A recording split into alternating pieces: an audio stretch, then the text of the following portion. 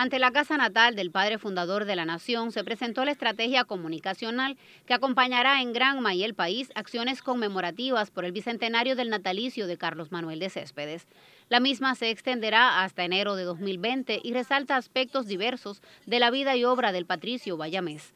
Entre las actividades que recordarán la efeméride se hallan presentaciones de textos relacionados con la figura de Céspedes y su impronta en la historia y la cultura cubana, veladas, puestas en escena, recitales de trova, narrativa y poesía, cancelación de sello postal, programas radiales y televisivos, documentales y publicaciones impresas. Según trascendió aquí, importantes eventos como la Conferencia Internacional de los Pueblos y su Cultura, la Feria Internacional del Libro y la Fiesta de la Cubanía también dedicarán su celebración al más ilustre de de los hijos de este suelo en que se fraguaran rasgos identitarios de cubanidad.